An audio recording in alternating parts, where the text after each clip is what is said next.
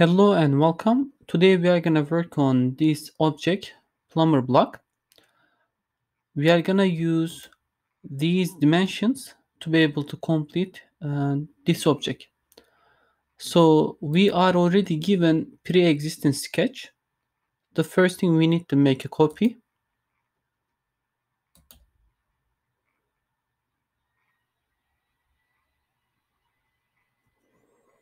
I'm gonna zoom in and I'm gonna use the extrude tool. So mostly we are gonna use extrude and the fillet tool because the object is already uh, ready. So they already sketched it.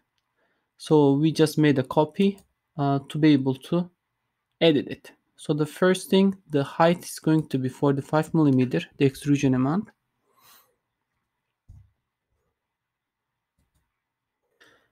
And this part, we need to use the extrude tool again. supposed to be 5 millimeter.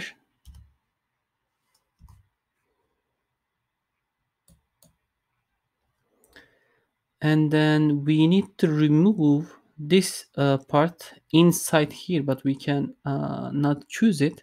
So therefore I'm going to use the sketch 3, which is that part. I'm going to double click it.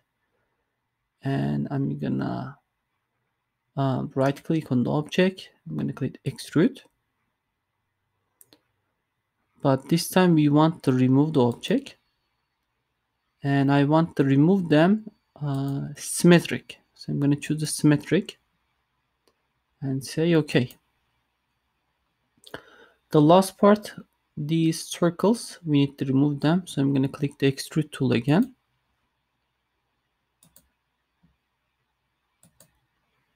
again we need to remove the amount is going to be 20 millimeter. Okay. Um, okay, we forgot the fillet. So now we are going to use the fillet. Fillet. And we're to fillet this part. Just need to this part. Fillet. And the edges needs to be fillet they all are supposed to be 5 millimeters so we can choose all of them in once. So I'm just choosing each one of them. So there is one missing on the other side. All right let's choose it. Now since I choose all the parts 5 millimeter I click check mark it's completed so I'm going to click the isometric. So as you can see, we have the all the fillets and object is completed. Now we are going to assign the um, material. Right click on the part one, assign material, carbon steel.